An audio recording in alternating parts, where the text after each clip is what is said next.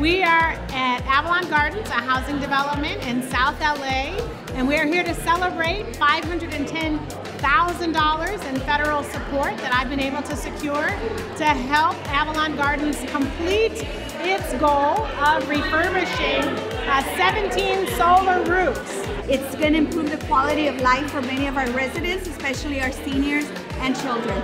There are a lot of residents that their homes do get really hot. Like for example, my home gets super hot in the summer and we usually have to open all the windows and all the doors. They need cool homes and the federal government has been able to do it.